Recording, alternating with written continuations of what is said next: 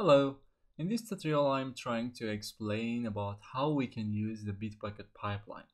Actually a lot of time I had problem with uh, using the Bitbucket pipeline so I thought maybe to make a tutorial for it and how we can use it and so on. Anyway, so I actually uh, had a project, electric management system, and uh, I thought maybe it's a good example to actually create a pipeline, Bitbucket pipeline for it and push it to the Bitbucket and see how we can actually set up a Bitbucket pipeline. So uh, in what what actually is the Bitbucket pipeline and how it can be useful to us? I mean, Bitbucket pipeline is a way that you can uh, execute some codes into the pipeline so you can basically run, for example, your test or run or execute the Swagger or run the PHPCS or code sniffer or anything like this. Something that basically you need to check before deploy to production. So you will uh, be sure or double check that everything works uh, as expected. Anyway, how uh, we can actually have a Bitbucket pipeline or how uh, we can do it. I mean, first of all, you need to create a file called bitbucketpipelines.yml or YAML file. And then um, this file is actually starts with the keyword image. What is the image? Image is actually, um, how to say, is a Linux, for example, Linux machine that uh, you can install a lot of things on it. So PHP 7.4-FPM is actually an image which if I pull it here I mean I, I have it but I can show you what uh, is the image. Okay so it is this one here. And if you actually uh, see we are using uh, PHP 7.4 FPM which is the tag of it. And uh, I have actually created a, a container from this image and I'm now in the container. So you can see it's, it's actually uh, is actually a Linux machine that uh, it has PHP and that's it, nothing else. And then uh, after that we have the pipelines keyword which it starts with the default and then the first step which is the test but it could be build test it could be a build step anyway we have a couple of other uh, commands here you can see for example the caches catch the catch is actually a way when you have a couple of steps you can use the catch to basically catch the uh, the composer. So you will not be needed to install the composer in every step because you know installing all of the packages takes some time so you catch it and you will be using this catch in the next steps. And then we have artifacts. Artifacts is somehow helps you to debug uh, the failed pipelines. So for example, your test is failing and you want to know what is the problem. So you will basically have the storage after all of your pipeline finished.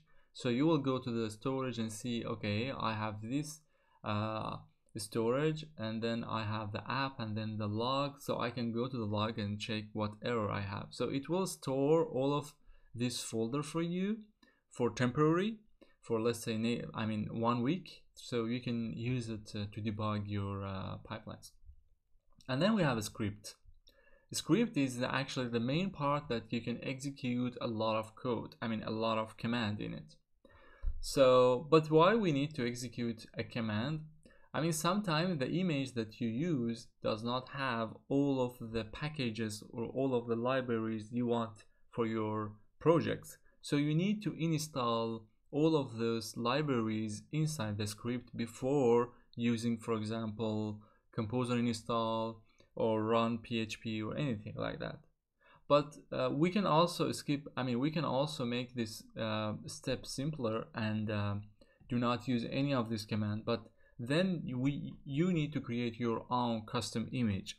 So how you can create your own custom image is a different subject which i can't really explain about it in this tutorial but uh, definitely I will create a tutorial that you can basically see how you can create your custom image or how you can extend this for example this image to use uh, different libraries additional libraries.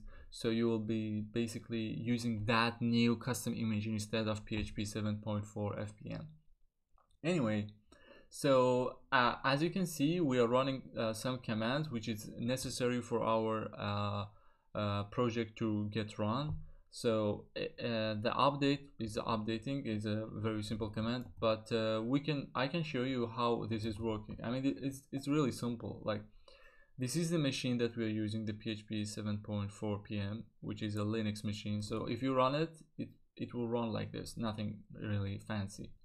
And then we have uh, installing some uh, zip and unzip library pcov we are using it for generating report from our test and then we have uh, docker installing zip. We have some uh, git and curl PD, pdo um, postgres. We are not using postgres in the current project but just uh, want to show you how we can actually use it. So i just I use it here.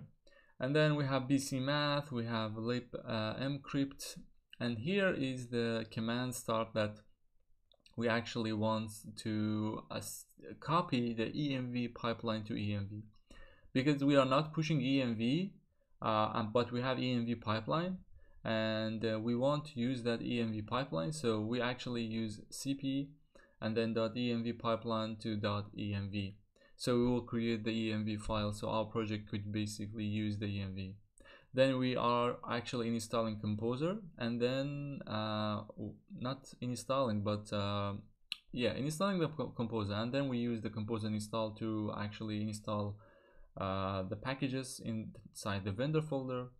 Then we basically we are using SQLite and uh, we here we create a database.sqlite in the database folder and then we run the php artisan key generate uh, the migrate and the first command is a php cs so php cs is a code sniffer and then we're using the php unit.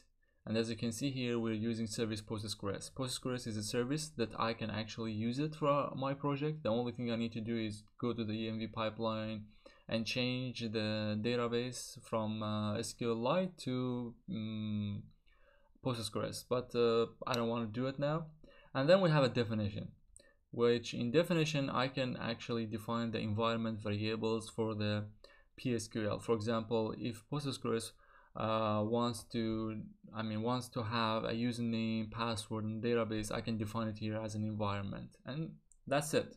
This is the whole thing of the Bitbucket pipeline. Actually I have this file in my gist. I am sharing uh, the link so you can actually use it there is another step. For example if you have a step which you need to basically install the node and uh, you know using the npm run or build you can actually define a new step or even you can define it in this step with the script. Okay so before of uh, anything if we create if we have this repository in the bitbucket then the first thing bitbucket will show us is to actually enable the pipeline so let's say I have pushed this. Uh, let me see if I have pushed it or not. Yes. And if I now say, okay, enable the pipeline and uh, what will happen? It should actually show me the pipeline. Yes, exactly. Now it's actually show me the pipeline and uh, let me see. Yeah. Now if I click on it, you can see the build uh, also you have only 50 minutes for free. So after 50 minutes you need to basically buy or upgrade your plan in bitbucket. Every step uh, for my project it takes less than uh, two minutes. So i could have around 25 builds but after that uh, nothing i can do. I need to basically buy a new plan. Okay so our pipeline our pipeline is now starting to installing all of the commands. And uh, we also have the postgres here. You can see this step. This service sorry. And yeah it's installing everything. And let's wait for it until it installs and run all of the commands. Actually if it's uh, if it not fail then it should show a green um, light here uh, but if it fail it should uh, show a red light. So yeah. Composer install. Yeah okay. And yeah phpcs is okay i think. Eh, there, there's no error. Php unit is also okay. So yeah good. Just uh, about to forget uh, actually there was another step. I wanted to explain about it. It was the artifacts uh, as you can see here uh, the artifacts is actually storing storage vendor public and the env file. So basically you can actually download every i mean each folder and see what's inside it and then you can actually use it for debugging your code if your pipeline fail.